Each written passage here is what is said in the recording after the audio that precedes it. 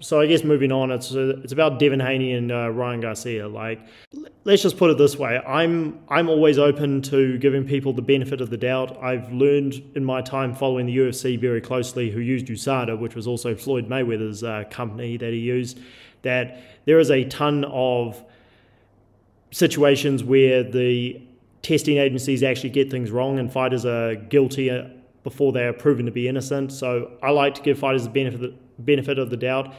The thing is about this is that well, I do I do believe in, in innocent until proven guilty. Okay, but yeah. until they show me on a, on a drug test, till they show me that he is eh, eh, that there was a mistake or something, to me they're they're guilty. It's not like it's a crime where you're innocent until proven guilty. So let me get that straight. I'm not saying that that it won't be overturned, but for now, he's a cheat. Right. Let's put it that way. Yep, hundred percent. And like I said, I and I like to give fighters the benefit of the doubt as well, but you need to prove it. And the things that just don't look right about this is that Garcia, first of all, he missed weight. He was unapologetic about it. That's always a red sign. Um, I didn't hold that against him for saying that's the reason Haney lost because Haney's been outsizing his opponents for years uh, badly well, as well. Let me just say something to you. Yep. You can't go and complain about the guy was overweight after you took a big fee uh, um, to allow the fight to go on.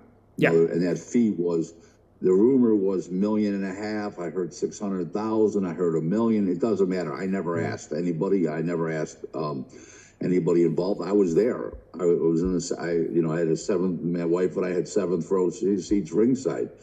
Uh, in truth, um, it doesn't matter. When you take that money, you waive the opportunity to complain about the weight. Okay? Yep. You lose that opportunity. You were purchased. Gotcha. Okay? That right was purchased. There you go. Mm-hmm. 100%. So, but in terms of whether Garcia is guilty or not, uh, when you miss weight like that and you're unapologetic about it, that's a red sign. Secondly, when you put out his Instagram video, let me know what you think about this. I think if you're accused of steroids because you tested positive that and you're trying to deny it, you should keep all friends out of the video and you should just have yourself first there. Of all, first of all, yep. they weren't steroids. It was a performance enhancing drug, but a steroid enhances your power and your physical strength and or your physical strength or both and that's that wasn't the case. It was a it was a uh, a drug that helps you uh, lose weight.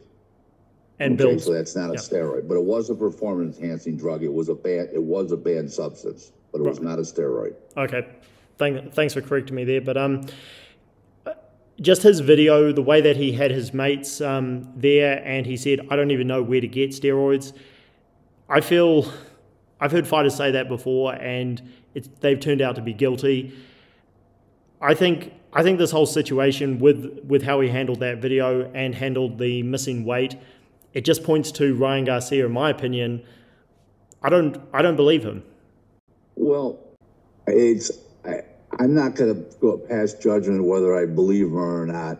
I'm just going to pass judgment that, um, to me, he's guilty until proven otherwise in this particular type of case. It's not a criminal act. Yeah. It's an act of something that happened in a fight uh, for a fight, and um, let's see if it's overturned. That's all there is to it. But I don't like his attitude to start with. I think he's a spoiled brat. I think he's a piss pot, and um, I just think that um, he's got a lot of growing up to do as a as as a person and as a fighter, and um, he's just not a he's just not a good person. I don't believe he's a good person. Mm. And what? Why is that? Is that because of stuff that he was saying before the fight, or? everything. Just his whole, you know, jumping from trainer to trainer, not wanting to pay this trainer. Um, what he says about uh, Oscar, what he has said about Oscar, how he tried to leave Oscar, uh, a little bit of everything. Right. Just to, you know, you know, you know, just his whole. You know, I'm 66 years old. I was brought up in a different era, and I was brought up a lot better than Ryan Garcia. Yeah. I just never fought. Okay, I wasn't a fight. I wasn't a fighter in, in the ring. I was. I've been a businessman my whole life, right. and I just don't like what comes out of the guy's mouth. I don't like his attitude, and I just he just leaves me cold. Just, mm. I'm just not a. You know, I'm a fan of his ability. I can see the ability. I can see the fan appeal, and I can see the, the competitiveness in him. Yes, but I I'm not a fan of some of his. Uh, I'm not a fan of his negativity. He's Right. got a lot of negatives. As of right now, what should um what should Devin Haney be doing in your opinion? Do nothing. There's nothing to do. He made his public statement, and you know, rest up and um, get back in the gym and work on your shortcomings. Okay. Um, one of his shortcomings is he doesn't throw punches that move his hands and feet at the same time. He's got to be stopped to throw punches. Dottie looks like a dog taking a piss on a fire hydrant. the reason the reason I asked what should um what should Devin Haney do, I mean, th- because a lot of uh, a lot of his fans are saying that because of the damage he took in the fight, that and he, and again Garcia already missed weight, that Haney should look to look, should look to sue sue Garcia for the damage he took. No judge, no, no, they'll throw that out of court so fast Right. it'll make their, make their head spin. It's, that's ridiculous. He took he took he took money to let this fight go on. Yep. Uh, and he gave up that he gave, he's basically given up that right. If a judge hears that he already took money, an additional amount, they'll just throw this right out. Right.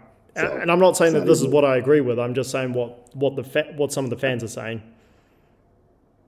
Well, good. That's wishful thinking. He can go sue, but you know the judge will hear about the settlement before the fight, and they'll just throw it out, even though he's on steroids. It's an athletic contest.